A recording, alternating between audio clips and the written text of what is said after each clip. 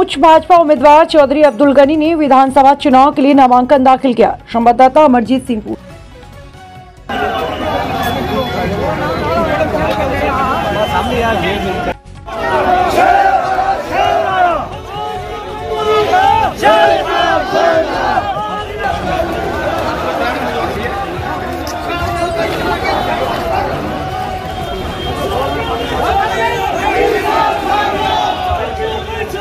धन्यवाद करता हूँ, क्योंकि आपने इतना गर्मी के मौसम भी जो है, आज एक बड़े जन को भारतीय जनता पार्टी को जन सलाब परेड पार्क वहाँ से निकला है उधर डी सी पहुँचा है। आप देखिए कि बिना मौसम मिले, बारह से पंद्रह हज़ार की कहते हैं लेके जो चौधरी गनी साहब के साथ लोग नॉमिनेशन भरने के लिए डी सी पहुँचे हैं। आप देख रहे हैं, उसमें हमारी नारी शक्ति भी थी, हमारे नौजवान साथी थे, बुज़ुर्ग थे।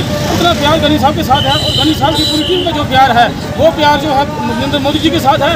इसलिए सबका साथ, सबका विकास और विश्वास, प्रयास जो है, आज पूरे देश में देश ने देखा कि जो हमारे डिस्ट्रिक्ट पुंछ बॉर्डर एरिया के बीच हुआ है। आप देखिए, मैं लोगों से ये अपील करता हूँ कि पूरी सिटी का जो बोर्ड है, दस से बारह हज़ार बोर्ड जो है, वो चौधरी गनी साहब की झोली में जाएगा। और चौधरी गनी साहब यहाँ से जीत कर जो है असेंबली में पहुँचेंगे। और असेंबली पहुँचने के बाद हमारी सरकार से रिक्वेस्ट है कि चौधरी भाई साहब को मिनिस्टर बनाकर जो है वो दोबारा पूछ से हमें कुछ भी लोगों का काम हो, हमारे बहुत से काम जो पेंडिंग है। आज देखिए, इतनी मोहब्बत लोगों ने दी है भारतीय जनता पार्टी को। इसका शेयर किसको जाता है? इसका शेयर जाता है नरेंद्र भाई मोदी जी को, अमित शाह जी को। और रविंद्र रैना जी को मेरी पूछ की जनता से माताओं से ये अपील है कि मोदी जी ने वो करके दिखाया है जो किसी भी प्रधानमंत्री ने आज तक देश के बीच नहीं किया है। देश के बीच बीच मोदी जी का टंका बजता है उसको देख के लोग आज लोगों में आज जनसला गुजरा है ये लोगों का मोहब्बत है और मुझे उम्मीद है कि पच्चीस तारीख को लोग जो है बड़ी तादाद में से बड़ी तादाद में घर से निकल कर जो है कमल को दबाकर विजय घोषित करेंगे। मैं आप चैनल आप चैनल वालों का धन्यवाद करता हूँ। मैं जम्मू कश्मीर की तरफ़ से सेंट्रल गवर्नमेंट का मैं सुविधा करता हूँ कि 10 साल के बाद गर्मा रनिंग है। और हमारे जम्मू कश्मीर के जो है इलेक्शन होने जा रहे हैं। आप देखिए कि दिन में दिन जो है स्टूडेंट गवर्नमेंट और पुंछ के भी नॉमिनेशन भरी जा रही है। आप देखिए जिन पार्टियों ने खोखला वादा किया है जम्मू कश्मीर के लिए, आज उनके बाद देखिए उनका क्या जन सलाब है। और यहाँ पर भारतीय जनता पार्टी का जन सलाब क्या है? आप बोल रहे हैं कि आर टी आर्टिकल पैंतीस है, आर्टिकल तीन सत्तर के ऊपर जो उन्होंने बात की है कि हम उसको वापस लाएँगे। जो कफन लपेट कर जो है गड्ढे में उसको दफन कर दिया गया है। क्या उसको ये पार्टियाँ ला सकती हैं? इन पार्टियों की वजह से जम्मू कश्मीर की भी जो है, वहाँ पर दवाई हुई है। नौजवानों के हाथों में पत्थर था, नौजवानों के हाथों में गन थी। लेकिन मोदी जी ने प्रयास किया, हम लोगों ने प्रयास किया लोगों बच्चों के हाथ में जो है कंप्यूटर है, लैपटॉप है, बल्ला है। लोग नशे से दूर हैं, मोदी जी की दुआ कर रहे हैं, और वही दुआ जो है आज पूछ में जो आपने कवरेज ली है। सब कुछ दिखाई दे रहा है। इसमें कोई भी दुराई की बात नहीं है। मीडिया ने कवरेज की है, बड़ी अच्छी कवरेज की है। और पूछ वालों को मैं मुबारकबाद देता हूँ कि आप अच्छी तरीके से सोच समझ के अपना मतदान करें, बिना मजों मिल हट के। खासतौर में यूथ से ये पता करता हूँ, किसी भी पोलिंग बूथ पर भी झगड़ा नहीं होना चाहिए। पार्टियाँ अपनी अपनी हैं, वोट मतदान वोटर ने करना है। जहाँ पर हमारे बेल्ट फोर्स के जवान खड़े हैं, उन्हें भी हमें एहतराम देना है। उनके डिसिप्लिन को भी हमने मानना है, क्योंकि ये फोर्स के जहाँ जवान खड़े हैं, ये हमारे लिए खड़े हमारी सुरक्षा के लिए खड़े हमें भी इनका सहयोग देना है और उसी सहयोग के साथ जो है हमें कमल का बटन दबाना है और गनी साहब को विजय बना के जो है, हमने सभी पहुँचाना है। धन्यवाद थैंक यू जो आपने यहाँ आके कवरेज की आप मीडिया वालों ने ये, आज देख ही लिया होगा कि जितना जन सैलाब मैं समझता हूँ दस से पंद्रह हज़ार आदमी, वो सिर्फ़ फॉर्म भरने के लिए गनी साहब के साथ आए।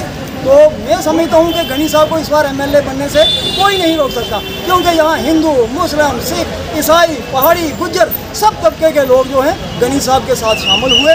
तो उन्होंने आश्वासन दिया कि हम आपको इस बार तकरीबन पंद्रह हज़ार की लीड से आपको जिताएँगे।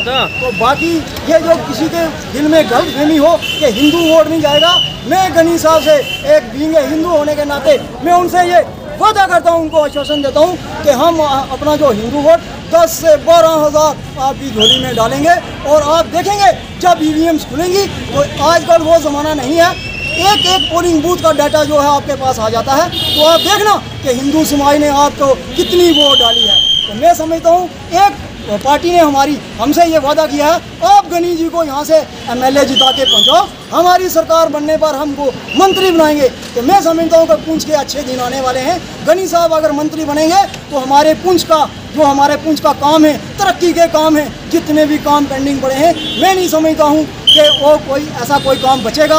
आप लोग बताने के लिए मजबूर हो जाएँगे, ये काम कीजिए। गनी साहब ने आपके सब काम कर देने हैं। मैं एक बार फिर, जो यहाँ जो आए वो गैदरिंग हुई जहाँ जो लोग आए हर तबके के मैं उनका धन्यवाद करता हूँ कि जिन्होंने आज फॉर्म भरने की रस्म को पूरा किया।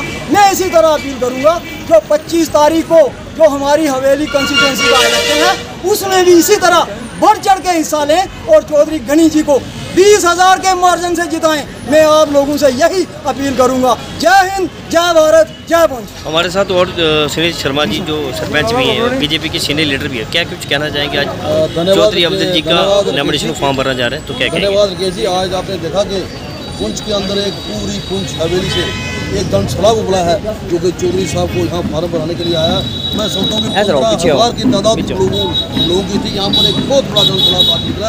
आज ही डिक्लेयर हो गया है कि चौधरी गली जी जो है पच्चीस तारीख को ही आज एमएलए तो वो आज ही बन गए हैं जब पच्चीस तारीख को रिज़ल्ट आएगा तो आप देखेंगे कि वो एमएलए बन चुके हैं और भारतीय जनता पार्टी उनको मैं मैं हूँ मिनिस्टर बनाएगी। मैं धन्यवाद करता हूँ नरेंद्र भाई मोदी जी का जिन्होंने एक होनार नेता जो एक बहुत बड़ा नेता जिसकी पुंछ के अंदर बहुत बड़ी पकड़ है उन, उन, उन, उस नेता को हमें बीजेपी में दिया।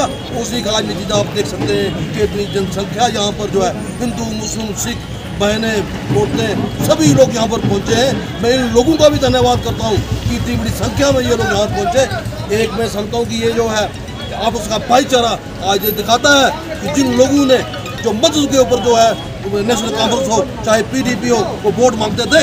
आज लोगों ने दिल खोल कर जो है गणेश जी का साथ दिया है भारतीय जनता पार्टी का साथ दिया है। मैं समझता हूँ कि इसमें कोई दो राय नहीं है। पुंछ के आवाम जो है वो आज बिल्कुल शाना बशाना बीजेपी! बीजेपी! चौधरी गली साहब! चौधरी गली साहब!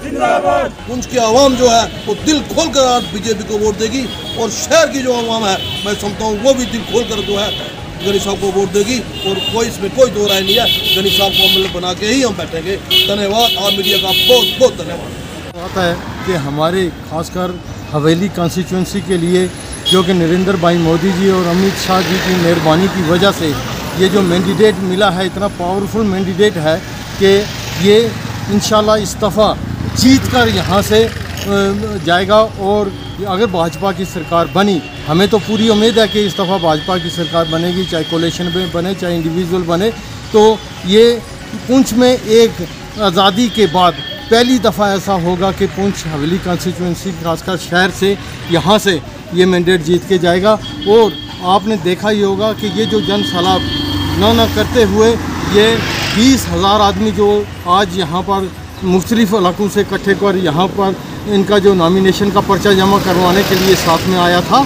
तो वो ये एक सबूत है और ये एक यहाँ पर दर्शाता है कि ये इस- दफ़ा हवेली कॉन्स्टिट्यूंसी की जो सीट है, ये भारतीय जनता पार्टी की झोली में जाएगा और इतिहास में ये यहाँ पर पहली दफ़ा ऐसा हो रहा है और हमें बड़ी खुशी है कि खासकर यहाँ पर हिंदू, मुस्लिम, सिख सबने मिलकर इस कैंडिडेट को एक्सेप्ट किया है और सबने ये वादा किया है कि हम इस दफ़ा इस कैंडिडेट को यहाँ से जिता कर भेजेंगे।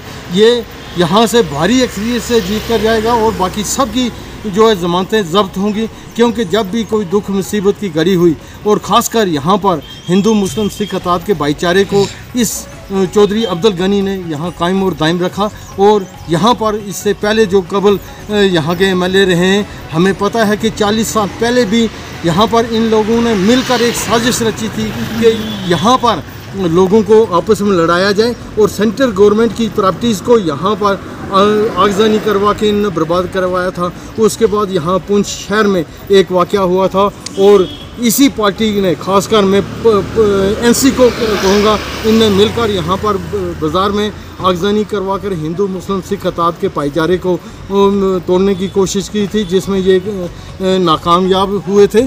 तो इस दफ़ा जनता ने ये मन बना लिया है कि इस, अब की बार मोदी सरकार और अब की बार हमारे चौधरी अब्दुल गनी साहब, हम खासकर मैं अपनी कहूँगा कि दो हज़ार चौदह से लेकर आज तक मैं इनके साथ चलता रहा हूँ। इनमें किसी किस्म का भेदभाव नहीं है। आज देखा होगा कि सेकुलरिज्म का ये जो लोग दवाई देते थे वो मिसाल इन्होंने यहाँ पर कायम की है। यहाँ पर हिंदू भी बड़ी संख्या में लोग थे मुसलमान भी थे सिख भी थे और पहाड़ी भी थे और गुजर भी थे।